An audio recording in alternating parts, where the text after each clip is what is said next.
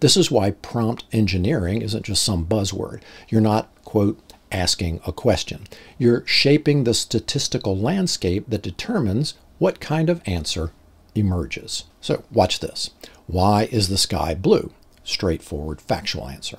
Why is the sky blue? Explain it like I'm five years old. Simpler vocabulary, shorter sentences, maybe an analogy. Why is the sky blue? I'm writing a physics paper. You'll get technical terms, citations, formal structure. Same question, completely different probability distributions over which word comes next. Even without those explicit instructions, the model picks up on subtleties, your phrasing, your vocabulary level, your punctuation.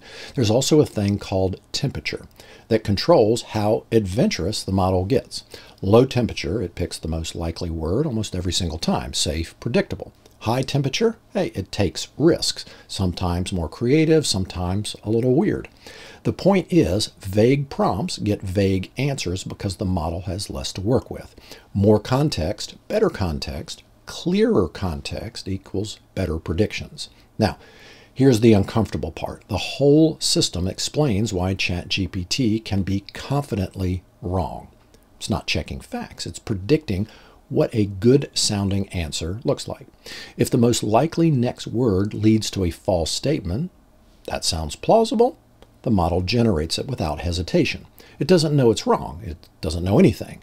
It's just predicting that those words typically follow the other words. This is why you should think of these tools as prediction engines, not knowledge bases. They're incredibly good at generating plausible, well-structured text.